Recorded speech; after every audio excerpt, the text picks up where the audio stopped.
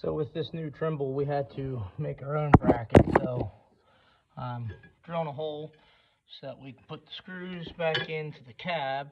So um, it just a couple seconds of this.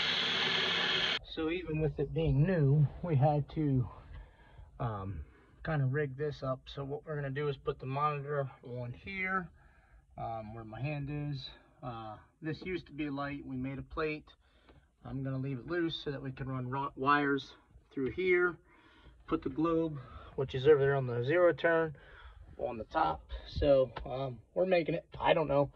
I have to run this power wire. So what we ended up doing was coming up between that fender. We ran the wire across from the battery. We have to hook it up yet. So now I'm just gonna run it up along here because, like I said, this monitor goes right here. So I was gonna try to hide everything up in there, but it's not gonna happen that way.